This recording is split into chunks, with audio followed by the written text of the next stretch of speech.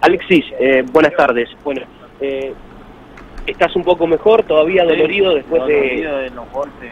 de los golpes, pero eh, tenías la posibilidad o intentabas retirar la moto por tus propios medios y ibas a tener gente que te ayude. ¿Y Sí, ¿Qué fue sí. lo que te manifestaron? Si no, que me van a llamar la policía, dice que me van a llevar detenido si yo intento sacar la moto, que no me puedo pasar la valla para allá. Vos eh, necesitas recuperar tu moto y Sí, no has tenido sí, comunicación para que te ayuden. Ya, como le dije al muchacho, se va a llenar de barro, le va a entrar más agua y va a ser peor. Se va a fundir del todo y después voy a tener que hacerle todo nuevo y nadie me da una respuesta de nada.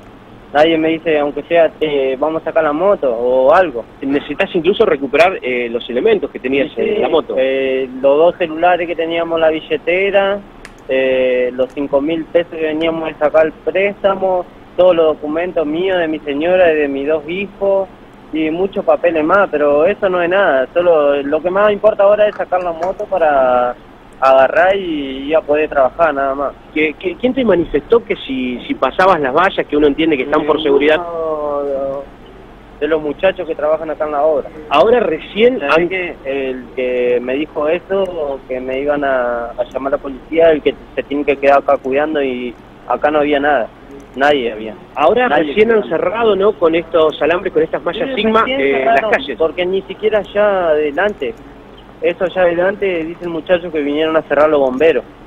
Vos vas a presentar una, una denuncia, Alexis, para que te permitan por lo menos sacar la moto. Y sí, que me queden- dejen sacar la moto porque va a pasar más tiempo, va a quedar la moto ahí y, y va a ser peor, porque es la verdad. Vos ser poquito, peor. es más, venías de retirar ahora Venía los a retirar papeles los papeles de la gestoría hace 15 días que me la compré la moto. y ya habías eh, empezado a pagar esta No, moto. en noviembre recién tengo que empezar a pagar.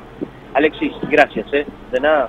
Bueno, ahí lo escuchábamos, Vale, a Alexis con esta situación, ¿no? Él necesita recuperar la moto, sacarla para que no se arruine más de lo que ya se ha arruinado. Sabemos cómo eh, el agua manifiesta, ¿no?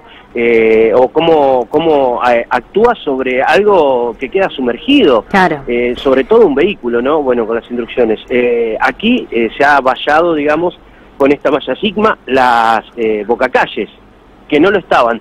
Nos manifestaban, bueno, ya sabemos que ayer durante la tarde algunos vehículos han pasado por aquí. Es más, eh, a, esta, a este motociclista lo avala también que por detrás después venía el auto y se cayó. Yo no alcanzaron a, a hacer ni siquiera señas para que esto no pase. Realmente, no, una situación que, que no se puede entender, que es increíble a veces ver cómo está. Se estuvo trabajando con unas bombas muy pequeñas, eh, ya se ha cortado ese, ese trabajo aquí en el lugar. Bueno, Nacho, desde ya muchas gracias por actualizarnos un poco la información de parte de, la, de las historias que teníamos hoy a la mañana, ¿no? Increíbles pero reales. Muchas gracias. Hasta luego.